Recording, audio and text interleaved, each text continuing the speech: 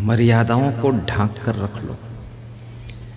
और जितना ज़्यादा मर्यादित रहोगे आप, जैसे मैं अभी यहाँ तक पहने हूँ, यहाँ तक हाथ दिखता है तो तुम्हारा मन क्या होता है? और थोड़ा खिसक जाए, दिख जाए क्या है? क्या है वही है तुम्हारा हाथ, वही मेरा हाथ, और उसमें क्या तो ये जितना दुनिया में चल रहा है इसमें दिमाग कितना लोग खर्च करते, कितना खराब करते, खोपड़ा अपना। कुछ भी नहीं है। वासना, विषय भोग। इससे भी एक दिन तुम उब जाओगे। इससे भी हार जाओगे। इससे भी थक जाओगे। और इससे बहुत दुखी हो जाओगे। इससे दूर भागोगे। फकीर बन जाओगे, साधु बाबा बन जाओगे। कुछ भी इसमें सार नहीं है। बहुत सी स्त्रियों को कहते मैंने सुना है। वे कहती हैं, मेरा मन होता घर छोड़कर कहीं भाग जाऊँ।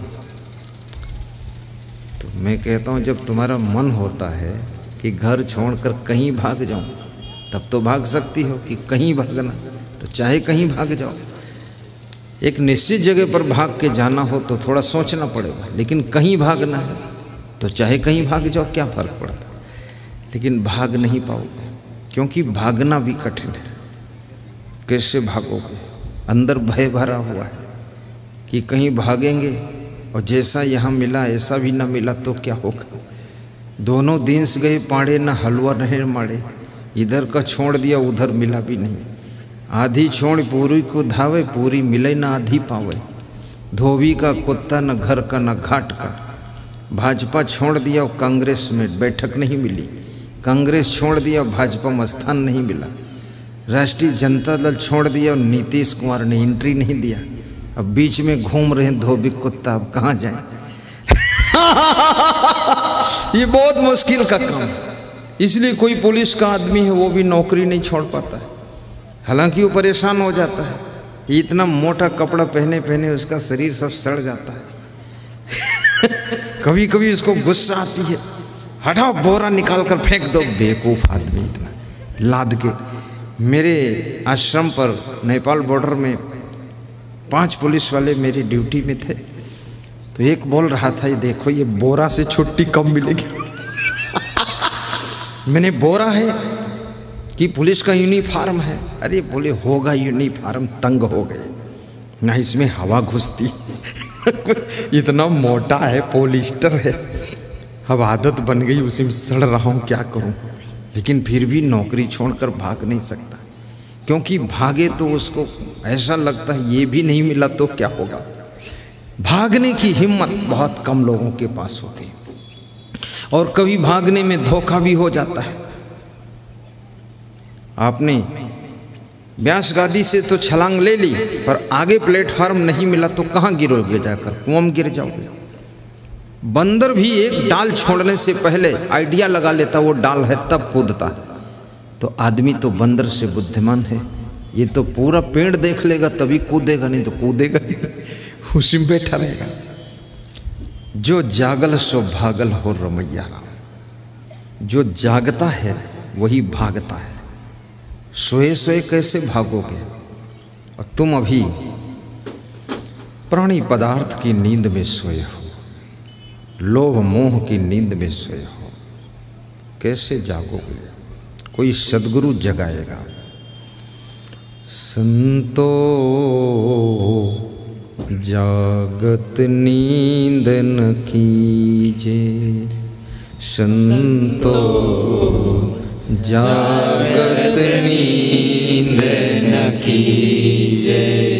संतों, जागते रहना, जागते जागते नींद में न चले जाना। संतों को समझाया गया। ये संत जो बैठे हैं, इनके लिए बात तुम्हारे लिए नहीं। तुम तो कुछ भी करो, ठीक है। इनको समझाया गया, संतों, जागत, नींद न कीजिए। अरे संतों, तुम जाग चुके हो। जिस भोग विलास को त्याग करके आ गए हो माया मोह को, अब उसकी नींद में फिर से मत सो जाना। ये संतों को जगाया गया मौलवियों को जगाया गया है। काजियों को जगाया गया है। और गुरुद्वारा के ज्ञानियों को जगाया गया है। चर्च के पादरी को जगाया गया है। साधु संत को जगाया गया है कि तुम दुनिया को जगाने का ठेका लेकर के बैठे हो तो कहीं तुम पुनः नींद में सो मत जाना। संतों जागत नींद न कीजिए। याद रखना, जो जाग गया है, उसे सावधान रहना पड़ेगा, नहीं तो फिर सो सकता है। फिर से नींद आ सकती है। तुम बुराइयाँ छोड़ चुके हो, लेकिन फिर से बुराइयों में फंस सकते हो। तुमने चोरी छोड़ दी है, फिर से चोरी शुरू कर सकते हो।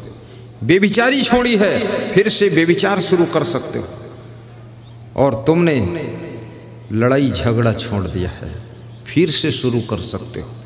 इसलिए याद रखना, संतों, तुम जाग चुके हो, होश में आ चुके हो। अब पुनः इस संसार की माया मोह में सो मत जाना। क्यों? क्योंकि तुम्हारी जगाने की भी ड्यूटी है। संत वहाँ है जो माया मोह की नींद से खुद जागता है और पूरे संसार को जगाने का काम करता है, उसी को संत कहते हैं, जो संत दूसरों को जगाता नहीं है, वो संत समझो अभी सोया हुआ है। जागो और जगाओ। कैसे? कोई शराब पी रहा है, उसकी शराब को छुड़ाना ही उसको जगाना है। जुआ की आदत को छुड़ाना, बेविचार की आदत को छुड़ाना ये राग, द्वेष, पक्षपात, भेदभाव की आदत को छुड़ाना यही जागना है। और जिस समय तुमको होश आएगा, जिसकी नींद टूट गई है, उसके लिए अब हिंदू भी ख़त्म हो गया, मुसलमान भी ख़त्म हो गया, सिख भी ख़त्म हो गया, ईसाई ख़त्म हो गया। उसके लिए तो शुद्ध इंसान बचता है, और जो भी सोया हुआ है, उसके लिए बहुत कुछ दिखता है। याद रखना, धर्म के नाम पर जितना लोगों ने नींद लिया है, इतना तो राजनीति के नाम पर भी लोग नहीं सोए नींद को तोड़ना है। और नींद टूटी, आँख खुली, विवेक जागा, फिर तुम गलत ना कर सकोगे। जिनका विवेक जागृत हो गया है, उनके हाथों से गलत होता ही नहीं है। बहुत समझाना पड़ेगा उनको गलत करने के लिए, फिर भी वो समझेंगे नहीं। कितनी स्त्रियाँ अपने पतियों को समझाती हैं कि तुम कुछ तो अपने भविष्य के लिए बचाओ, कुछ तो भाइयों से चुराओ, कुछ बाप से कपट करो। तुम कितने बेवकूफ़ हो, सब रख रहे हैं, तुम नहीं बचा पा रहे हो। बड़ी ट्रेनिंग देती है। कितने नेताओं को भी ट्रेनिंग मिलती है। एक आदमी मोदी जी को ट्रेनिंग दे रहा था। कि तुमने क्या सीखा राजनीति में? अभी तक कुछ बना ही नहीं पाए। वही फोकटनाथ घूम रहे हो। सीखो उनसे, उनके पास कुछ नहीं था। आज हज़ारों एकड़ ज़मीन हो गई। दिल्ली और मद्रास में महल हो गए। और तुम वैसे खोखला नाथ बने। मोदी सीखता ही नहीं है। क्योंकि जिसकी चेतना जागृत हो जाती है, उसको लाख चोरी बेईमानी छल कपट सिखाओ, वो सीखने वाला नहीं है। और जिसकी चेतना सोई है, उसको लाख समझाओ, वो बुराई छोड़ने वाला नहीं है। इसलिए सत्संग तुम्हारे विवेक को जागृत करता है, चेतना को जागृत करता है। और जिस समय चेतना जागृत होती है कितने पतियों की स्त्रियाँ समझाती हैं कि अपने माँ बाप को छोड़कर अलग हो जाओ। वो अलग होता ही नहीं। क्योंकि उसको दिखता है ये तो गलत हो जाएगा। तो स्त्री समझाती है, मैं अपने माँ बाप को छोड़कर आपके पास आ गई तो गलत नहीं हुआ। और तुम अपने माँ बाप को छोड़कर मेरे ही साथ रहो तो क्या गलत होगा? अरे तो स्त्री है, मैं पुरुष हूँ। स्त्री पुरुष का अलग अलग फार्मूला होता है। तू माँ बाप को छोड़ कर आई है, बाहर से छोड़ा है। अंदर से कहाँ छोड़ा तूने? रोज फ़ोन लगाती है, मम्मी ठीक ठाक हो कि नहीं? अंदर से तो पकड़े है अपनी मम्मी को। और मेरे को क्यों छोड़ा रही अपनी मम्मी से? मैं नहीं छोड़ूँगा। नहीं छोड़ोगे तो मैं तुमको छोड़ दूँगी। ये क्या नाटक खड़ी कर दिया है तुमने? बहुत मुश्किलें खड़ी हो गई। और जिस लेडीज़ की चेतना जागृत हो जाती है अपनी माँ की तरह सासू की भी सेवा करती है, अपने पिता की तरह ससुर का सम्मान करती है और अपने पति का भी सम्मान रखती है, देवर और जेठ का भी लिहाजा रखती है, पूरे घर को जोड़ने का प्रयास करती है। और किस तरह से मेरे घर का संगठन बना रहे, और किस तरह से उन्नति हो, जिस नेता की चेतना जागृत हो जाती है, पूरे देश की उन्नति के लिए सोचता है, किसी एक जाति के लिए नहीं, मज़हब के लिए नहीं, सबके विकास के लिए सोचता है कि हमारे देश की सड़क कैसे बनेगी। देश के पुल कैसे बनेंगे, और ब्रिज कैसे बनेंगे, ये जाम कैसे खत्म होगी? न जाम खत्म हुई, न काला जाम खत्म हुआ, न सफ़ेद जाम खत्म हुआ। आज तक सत्तर साल हो गए सरकार बदलते बनते, लेकिन भागलपुर कहलगांव की जाम खत्म नहीं हो रही सरकारें खत्म हो गई, नेता खत्म हो गए। वोट देने वाले खत्म हो गए, पर गड्ढे खत्म नहीं हुए। मैं सोचता हूँ, ये गड्ढे भी इन्हीं के साथ ख़त्म हो जाते तो अच्छा रहता। लेकिन गड्ढे कैसे ख़त्म होंगे? क्योंकि दिमागों में बड़े बड़े गड्ढे बने हुए हैं, लोभ लालच के गड्ढे बने हुए हैं तो ये बाहर के गड्ढे मिटने वाले नहीं और जनता भी बहुत टुकड़ों की लोभी है, इसकी भी चेतना सोई हुई है। जनता चाहती है जो हमको फ्री देगा, उसी को हम वोट देंगे। फ्री फ्री गेहूँ, फ्री चना, फ्री मिट्टी का तेल, फ्री शक्कर, फ्री नमक। बड़ी शर्म की बात है। नमक भी सरकार दे, तब तुम नमक खाओ। कितने नमक हराम निकले। हद हो गई। नमक भी खरीद कर नहीं खा सकते। चिड़ियाँ भी मेहनत करके अपना पेट भर लेती हैं। पशु पक्षी भी मेहनत करके अपना पेट भर लेते हैं। धिक्कार है वो इंसान को कि अपने पेट भरने के लिए भी मेहनत नहीं कर सकता है। इतना भी नहीं कमा सकता कि उसका खुद का पेट भर जाए। इस मनुष्य का पेट भरने के लिए सरकार को गेहूँ और चना चावल देना पड़ता है। याद रखना, जब गेहूँ, चना, चावल उनसे लोगे तो ये पैसे का बजट सड़कों का खत्म हो जाएगा तो सड़कों में गड्ढे हो ही जाएँगे। मुझको चावल नहीं चाहिए, चना नहीं चाहिए, गेहूँ नहीं चाहिए, मिट्टी तेल, नमक नहीं चाहिए। मुझको सोलह लेन की रोड चाहिए, मुझको और ब्रिज चाहिए, और मुझको जाम खत्म होनी चाहिए, रास्ता साफ़ होना चाहिए। बाकी ये तो हम खेत में कमा कर खा लेंगे। ये टुकड़ों के लोभी हम नहीं रहेंगे, हम उसी को वोट देंगे, जो रोड को चौड़ी कर देगा ये होना चाहिए। लेकिन पूरे देश में यही आल्हा चल रहा है। यूपी में भी यही, एमपी में भी यही, छत्तीसगढ़ में यही। छत्तीसगढ़ में गत वर्ष मुझे बहुत मज़ा आया। एक बोर्ड में मैंने लिखा हुआ पढ़ा कि मेरी सरकार आएगी तो पचास पैसा किलो चावल दूँगा। तो मैंने कहा, कमाल है, पचास पैसा किलो।